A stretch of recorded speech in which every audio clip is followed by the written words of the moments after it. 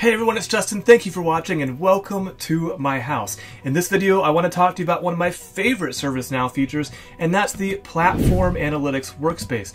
In the Vancouver release, we now have the ability to duplicate a dashboard or a dashboard tab.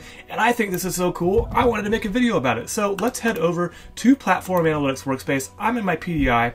Let's get rid of, actually I can leave all that stuff up. And now I've got my dashboard that I've created for Justin's house. And I want to show you how easy, and I want you to also pay attention to how fast this actually works. So if you're not familiar, Platform Analytics Workspace is where you should be building your dashboards. Um, that's why I'm using them in my workspace, and you should be using them too. Now I'm on my content page. This is monitoring all the content I'm creating on YouTube and other social media.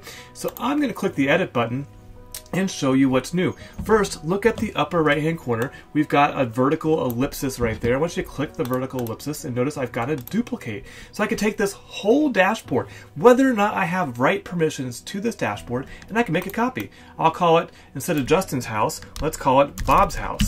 And now I've got all the same stuff, the tabs and everything. Go ahead and duplicate it so you can see it. This will actually take a second, and I'm not surprised by that. The speed is still pretty impressive. So now I've got Bob's house dashboard with everything that was on there, all showing on my new dashboard. So that's pretty cool. Let's head back to Analytics Center and let me show you, go back to Justin's house and show you what else is cool in here. Again, I'm gonna hit edit.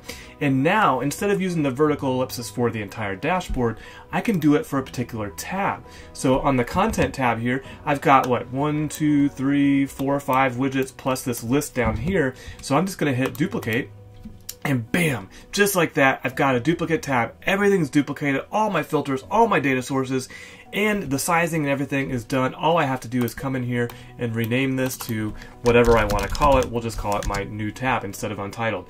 I'm going to save this. I'm going to exit editing mode, and now I've got my new tab, which is just like my content tab that fast. I'm in my PDI, everybody. I'm not in a production instance, and you saw how fast that happened. Now, just to make sure I don't wonder what the heck's going on when I come in here later, I'm going to go ahead and delete that and save it and get out of editing mode again.